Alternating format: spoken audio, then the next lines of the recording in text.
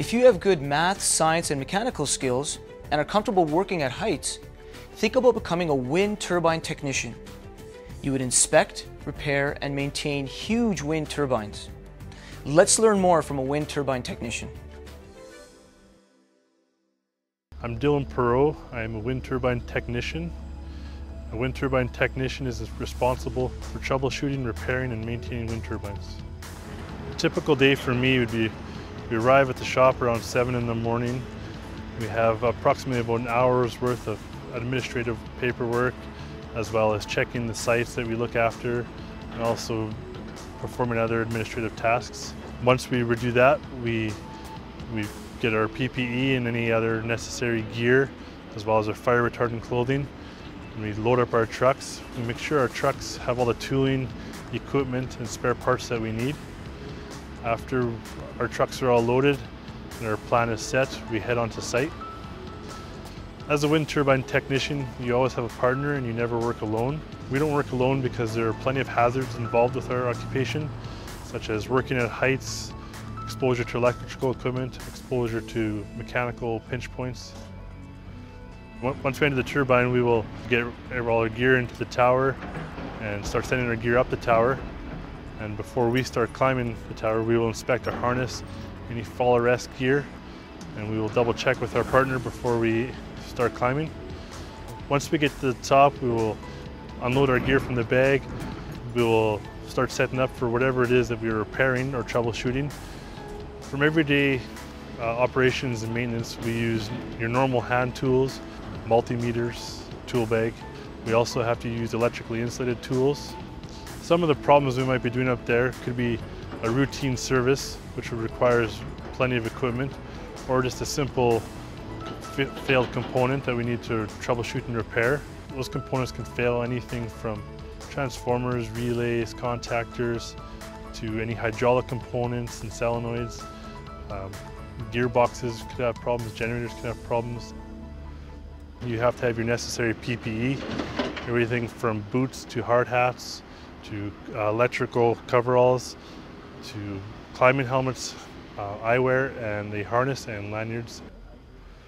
The wind turns the blades of the turbine, so the gearbox will give a mechanical advantage to get higher RPM out of your generator. The generator will then produce power.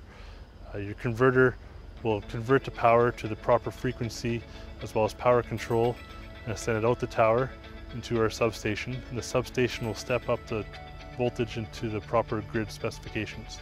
One of our sites has 47 turbines, each at 1.5 megawatts for a total of 71 megawatts. And with that 71 megawatts, they can produce enough power to power up 30,000 homes. It's important to keep them running or keep a high availability so when the wind is, is there, um, the turbines can produce as much power as possible. As a wind turbine technician, you have to have high angle rescue training and fall arrest training. You are trained to, to rescue yourself and others in a case where they may have fallen or is injured. During our day-to-day -day operations, we are exposed to the weather for a large part of the day. We spend a lot of time in the turbines, which are not environmentally controlled, so it can be hot, it can be cold. When I learned my trade, I was trained on the job. I had previous mechanical experience, and now I am a third-year electrician taking my electrical trade. For guys to get into the wind industry, what we look at are uh, people that are self-starters, uh, relative training, which would be a trade in either a millwright, electrician, uh, journeyman mechanics. As a wind turbine technician, you have to use computers every day. SCADA operations are the tools we use to remotely view um, and monitor and reset the turbines. The best skill suited for our job is having strong mechanical skills, strong electrical skills, and most importantly is a strong safety sense.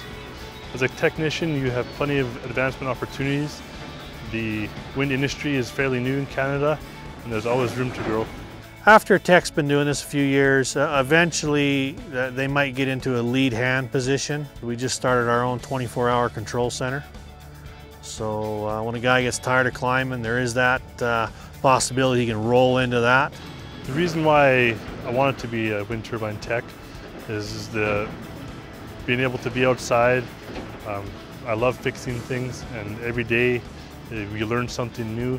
I find my job very satisfying because at the end of the day you were able to take a machine that was producing no power and now it's online and producing power and supplying homes with plenty of power.